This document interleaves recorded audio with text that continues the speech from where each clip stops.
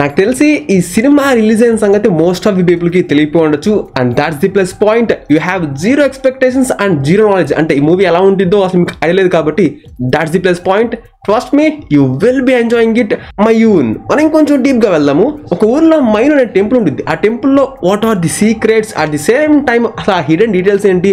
జనాలు చెప్పే అంటే ఆ ఊర్లో ప్రజలు చెప్పే ఆ మూఢనమ్మకాలు నిజమా కాదా? అండ్ దీని మీద మనకి స్టోరీ మొత్తం రివాల్వ్ అవుతూ ఉండిద్ది. అండ్ ఫస్ట్ ఆఫ్ స్టార్టింగ్ ఒక ఫిఫ్టీ మినిట్స్లోనే మనకి మంచి హై మూమెంట్స్ అయితే తగులుతాయి. కొంచెం కొంతమంది జలక్ వచ్చి అందరికీ జలక్ వచ్చిందని చెప్పను.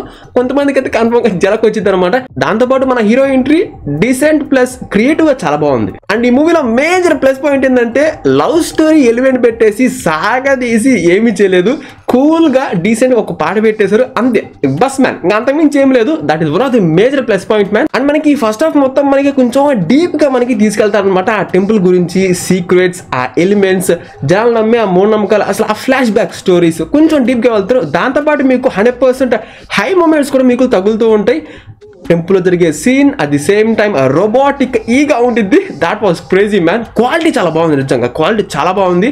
అట్లాగే మన హీరోకి జరిగే సీన్స్ ఇట్లా మీకు హై మూమెంట్స్ అయితే మీకు తగులుతూ ఉంటాయి బట్ అక్కడక్కడ లాగ్ అనిపిస్తుంటుంది అనమాట ఎందుకంటే ఈ ఫస్ట్ హాఫ్ మొత్తం మనకి ఆ టెంపుల్ ది సీక్రెట్స్ మొత్తం రివీల్ చేయడానికి మనకి యూజ్ చేశారు. The real story begins from the second half madness man starting మీకు ఫిఫ్టీ మినిట్స్ అసలు హై మూమెంట్స్ తగులుతూ ఉంటాయి. లిటరలీ కొన్ని కొన్ని సీన్స్ కడైతే మీరు కూడా జరక్ ఫీల్ అవుతారు. That is no doubt in that ఇట్లాంటి మూవీస్ మనం చూసి చాలా కాలం అయిపోయింది ఎప్పుడో కార్తికే చూసాం. తర్వాత ఇంకా రీసెంట్ టైమ్స్లో పోల్చుకుంటే this is the one man and ఇంకా మనకి క్లైమాక్స్ ట్విస్ట్లు మొత్తం రివీల్ చేస్తారు. అండ్ మీరు మూవీ చూసిన తర్వాత తప్పకుండా కామెంట్ చేయండి. నాకు మటుకు ఫేవరెట్ ట్విస్ట్ ఏంటంటే పూలు ఉంటాయి ఫ్లవర్స్ ఫ్లవర్స్ ఉంటాయి అవి మెరుస్తూ ఉంటాయి. నైట్ టైంలో మెరటం ఏంటి అనే కాన్సెప్ట్ నాకు అర్థం కాలేదు. తర్వాత ఆ ట్విస్ట్ని రివీల్ చేసినప్పుడు ఓ mind that was lovely man అనిపించింది. అంత బాగుంటుంది నాకు అది బాగా నచ్చింది. నాకు అది కిక్ అనిపించింది. రిమైనింగ్ కూడా ఉన్నాయిలేండి but for me that is the one man మూవీకి కావాల్సిన బ్యాక్గ్రౌండ్ స్కోర్ సాంగ్స్ అన్ని పర్ఫెక్ట్లీ మనకి హ్యాండిల్ చేశారు. ఆ ట్విస్ట్లు కానివ్వండి ఇప్పుడు దాకా మనం చూడని ఎలిమెంట్స్ కాన్సెప్ట్ ఇప్పుడు దాకా మనం ఎప్పుడు చూడలేదు.